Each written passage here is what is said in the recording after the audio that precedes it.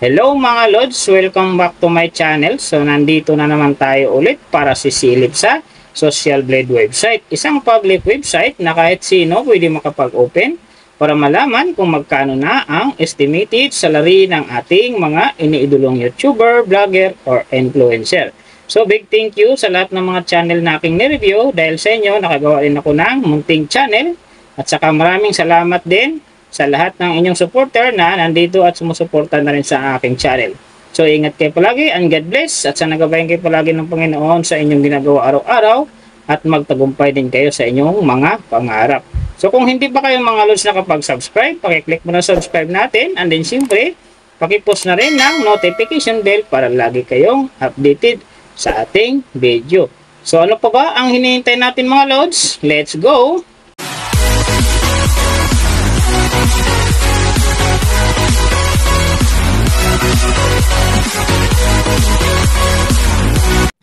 So mga lods, yung sisilipin naman nating estimated salary ngayon, walang iba kundi kay Kalingap Edo. So isa din siyang Kalingap team member mga lods, susuportahan din natin ang kanyang channel dahil siya ay isa ding charity vlogger. So huwag nyo rin kalimutan na isama na sa pag-support ang aking channel. Bago tayo magsimula, shoutout muna kay Boss TV. So idol, maraming salamat sa support mo sa aking channel. Ingat ka palagi dyan and God bless. So sa ngayon mga lord, si Kalingap Ido ay meron ng upload videos na 392 and then meron na siyang subscriber na 255,000. So may video views naman siya ngayon na 20 million 346,240. And then yung kanyang country is PH. So yung channel type naman niya is games. And then yung account niya ginawa ito noong February 10, 2021.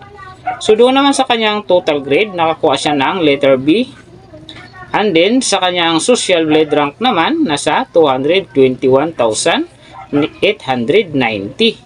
So doon naman sa kanyang subscriber rank, nasa 2,073. And then sa kanyang video views rank naman, nasa 545,480.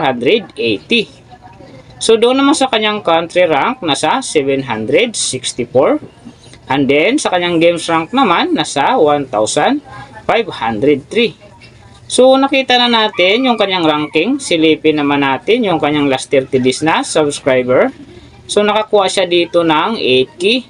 Ang kinaganda lang dito mga lods kasi ang kanyang percentage umangat ng 33.3%. So, ibig sabihin, mas maganda ngayon ang pasok ng kanyang subscriber kung i-compare natin sa nakaraan niyang buwan. So doon naman sa kanyang views mga lords, in the last 30 days, nakakuha siya ng 1.576 M views. So maganda rin mga lords kasi ang kanyang percentage dito umangat din ng 21.8%. So ibig sabihin maganda rin ang pasok ng kanyang views kung i-compare natin sa nakaraan niya ring buwan. So nakita na natin yung kanyang ranking, last 30 days subscriber, and then yung kanyang views, silipin naman natin yung kanyang daily summary from subscriber, views, and then yung kanyang earning. So sa kanyang subscriber mga lods, may nakita ko rito na anim na araw na umangat. So simula noong December 23, nakakuha siya ng 1 key. And then nasundan ito ng December 26, nakakuha ulit siya ng 1 key. Tapos nasundan ulit ng December 29, 1 key ulit. And then January 1, nakakuha ulit siya ng 1 key. Tapos pagdating ng January 3, nakakuha uli na naman siya ng 1K. And then yung last, yung January 5, nakakuha siya ng 2K. Kaya ang kanyang subscriber ngayon, nasa 255,000. So, doon naman sa kanyang views, yung magaganda dito, mula nung December 25, nakakuha siya ng 107,000.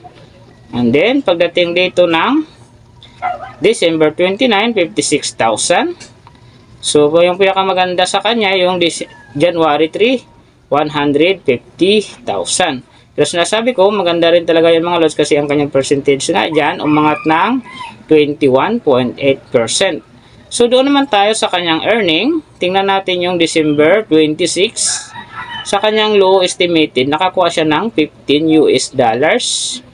And then sa kanyang high estimated naman, nakakuha siya ng 239 US dollars. Pero ang mga yan mga lods is daily summary lang. Mas maganda kung silipin natin yung naka-round off na from daily, weekly, and monthly para malaman na natin kung magkano na ngayon ang estimated salary ni Kalingap Ido dito sa YouTube. So, unahin natin yung kanyang daily average. So, sa daily subscriber, nakakuha siya ng 267. And then, sa kanyang views naman, nakakuha siya ng 52,524. So doon naman sa kanyang daily, low estimated ng kanyang earning, nakakuha siya ng 13 US dollars. So times natin sa 55, mayroon siyang 715. And then sa kanyang daily, high estimated naman ng kanyang earning, nakakuha siya ng 210 US dollars. So times natin sa 55, mayroon siyang 11,550. So yan mga lods ang kanyang daily average. So pupunta naman tayo sa kanyang weekly average. So sa weekly subscriber, nakakuha siya ng 1.86k. And then sa kanyang views naman, nakakuha siya ng 367,668. So doon naman sa kanyang weekly, low estimated ng kanyang earning, nakakuha siya ng 92 US dollars. So times natin sa 55, mayroon siyang 5,060. And then, sa kanyang weekly, high estimated naman ang kanyang earning, nakakuha siya ng 1,500 US dollars. So, times natin sa 55, mayroon siyang 82,500. So, yan naman mga lods ang kanyang weekly average. So, pupunta naman tayo sa kanyang monthly average. So, sa monthly subscriber, nakakuha siya ng 8K. And then, sa kanyang views naman, nakakuha siya ng 1 million 575,706. So doon naman sa kanyang monthly, low estimated ng kanyang earning, nakakuha siya ng 394 US dollars. So times natin sa 55, mayroon siyang 21,670. And then sa kanyang monthly, high estimated naman ng kanyang earning, nakakuha siya ng 6,300 US dollars. So times natin sa 55, mayroon siyang 346,500. So, yan naman mga lods ang kanyang monthly average. And then, yung nababanggit ko rito or nakikita nyo is pawang estimated lamang. Nakabis lang tayo sa Social Blade website. Isang public website yan na kahit sino pwede makapag-open para malaman natin kung magkano na ang estimated salary ng ating mga iniidolong YouTuber, vlogger, or influencer. And then mga lods, yung ganap na yan, laging natutupad yung low estimated kasi nga hindi natin kayang i-demand sa ating mga viewers na wag mag-skip ng ads. Pero pwede pa rin maging times 2, times 3, or maging times 4 pa yan kapag ang isang vlogger nakapagpa-viral ng kanyang video.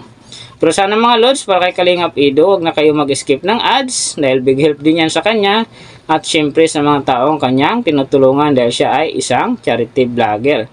Pero syempre, huwag nyo rin kalimutan na huwag i-skip ang aking ads. Dahil sabi ko rin, big help din yan para sa aking munting pangarap.